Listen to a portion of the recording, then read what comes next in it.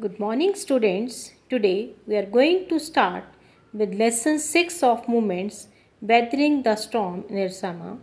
It is a story by Harsh Mander. Harsh Mander is a, is, an, is a social activist who is associated with various social causes and movements and writes and speaks regularly on the issues of communal harmony, tribal, Dalit, and disabled persons' rights, the right to information, homelessness, and bonded labor.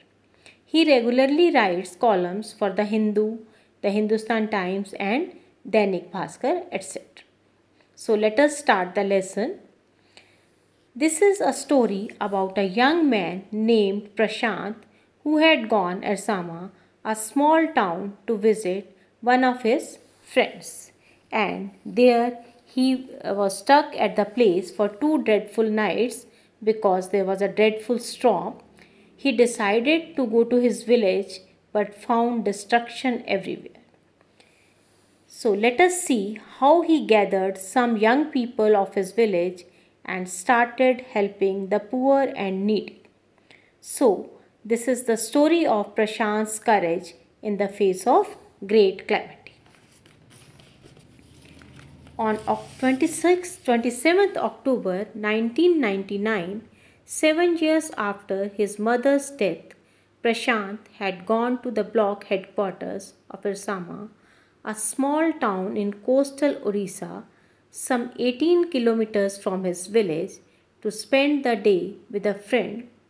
In the evening, a dark and menacing storm quickly gathered. Winds beat against the houses with a speed and fury that Prashant had never witnessed before.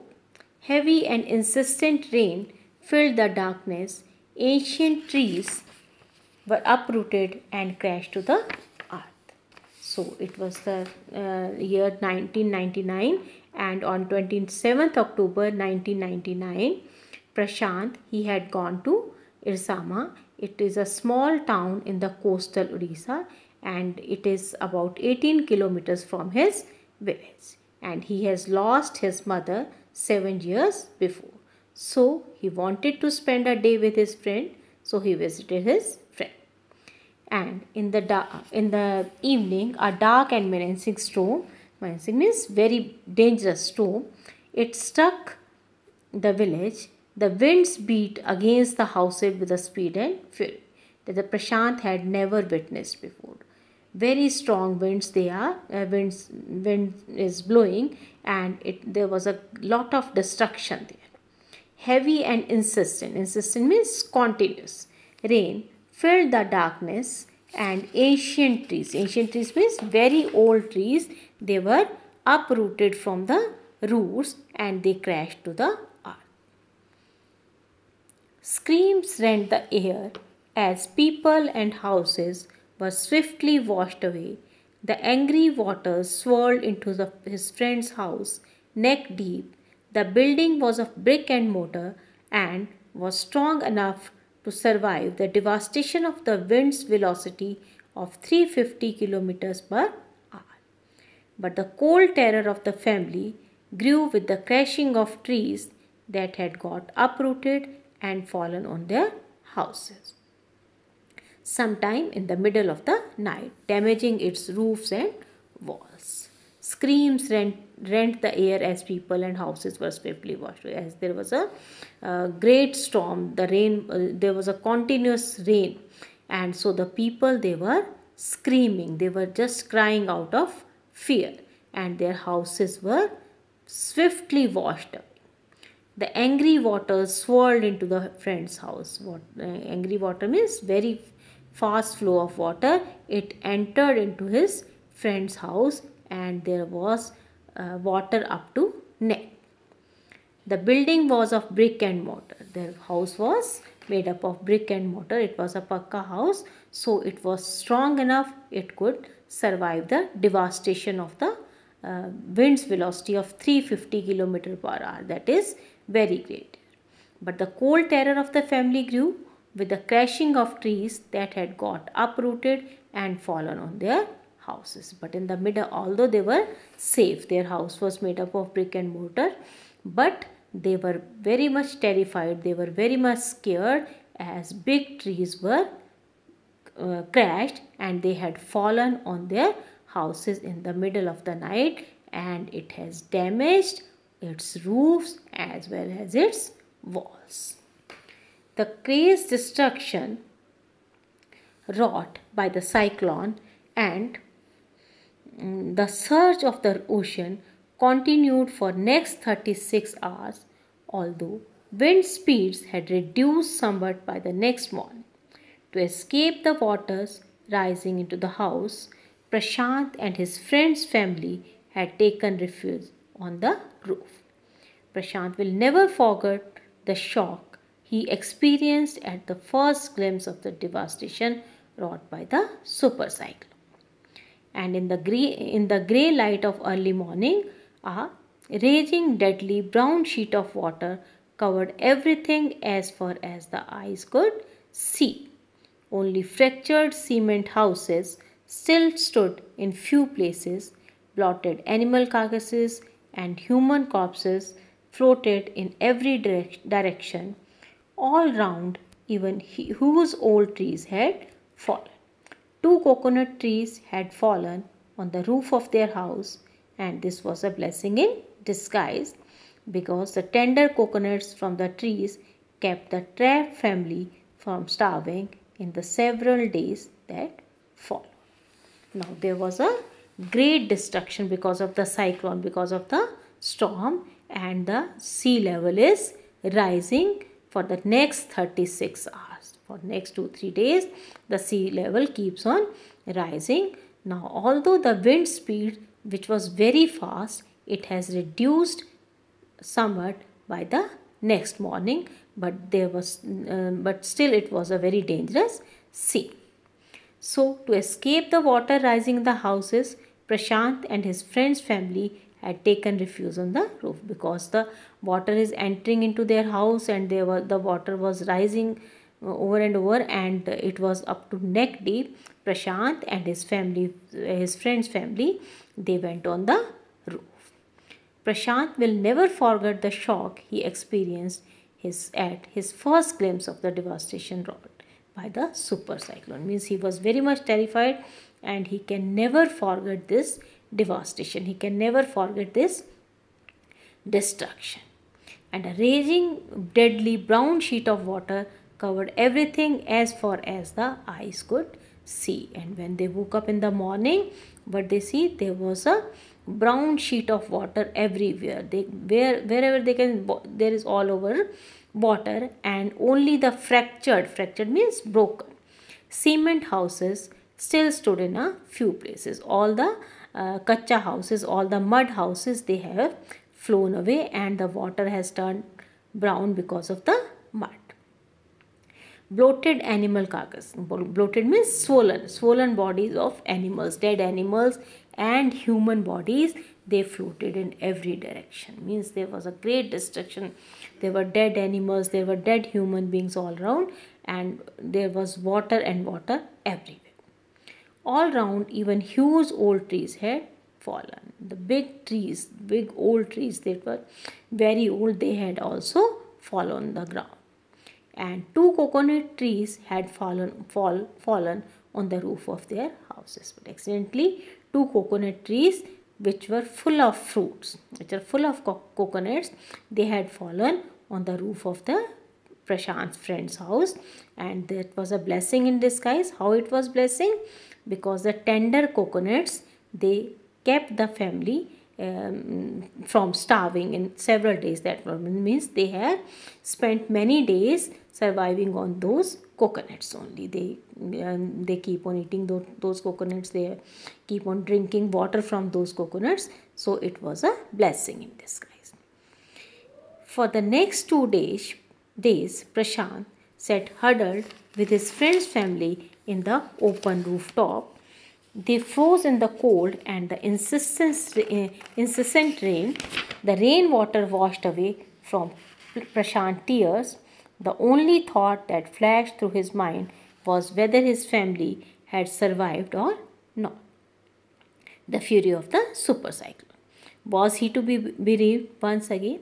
Now, for the next two days, he got stuck up in his friends, uh, with his friend's family on the rooftop, and there was a uh, uh, continuous rain, and it was the it was very cold, and Prashant he was very much worried. He was he kept on crying because he was worried about his family, whether the, the family would have survived or not, whether he had lost his family members.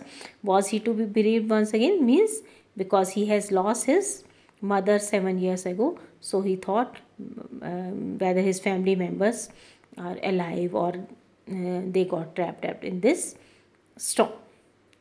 Two days later, which seemed to Prashant like two years, the rain ceased and the rain waters slowly began to recede. Prashant was determined to seek out his family without further delay, but the situation was still dangerous and his friend's family pleaded with Prashant to stay back a little while longer, but Prashant knew he had to go. Now, these two days, he has to stay there for two days, and these two days they seemed very long to Prashant. They seemed like two years. The rain ceased. Cease means stop and the rain water slowly began to recede. Recede means reduced. The rain water it started re uh, reducing and Prashant he wanted to go to his family without any further delay. He wanted to uh, meet his family members but the situation it was not out of danger. It was still very dangerous. So his friend's family pleaded. Pleaded means requested.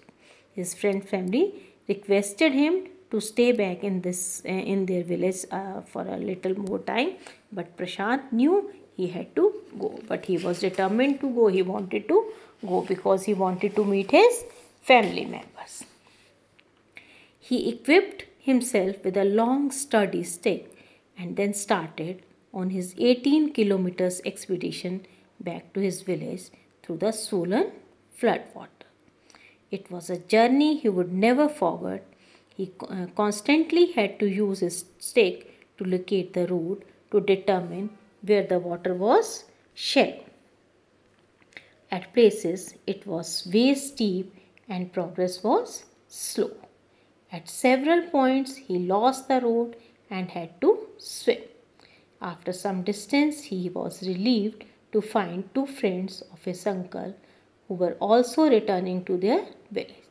So they decided to move ahead together. Now he wanted to go back to his village, so he equipped himself with a long sturdy stick. He took a very long and very strong stick. So and he started his journey. And now his village was 18 kilometers away from that place from Ersama. It was 18 kilometers away, and uh, there was um, uh, it was the place was filled with flood water. It was a journey he would never forget. He cannot forget this journey throughout his life. He constantly had to use his stick to locate the road. He has taken a long and stick with him, so he used this stick to locate the road and to determine whether the where the water was most shallow and where the water was deep. And uh, he found at places it was waist deep and the progress was slow. At some places the water was very deep so he moved very slowly there. And at several points he lost the road and he had to swim. At many points there was no road, the water was very deep so he had to swim to his place. And after some distance he was relieved to find two friends of his uncle who were returning, who were also returning to their village and when he covered some distance he found two friends of his uncle so he got some courage and he started his journey with them and they decided to move ahead together. So all of them they moved together. As they waded through waters. The scene they witnessed grew more and more macabre means sad dangerous. They had to push away many human bodies, men, women, children, and carcasses of dogs, goats, cattle, that the current swept against them as they moved ahead. In every village that they passed, they could barely see a house standing. Prashant now wept out loud and long. He was sure that his family could not have survived that this catastrophe. Now, as they waded through the waters, they moved through in, the, in this uh, water. The scene they witnessed grew more and more sad, more and more dangerous.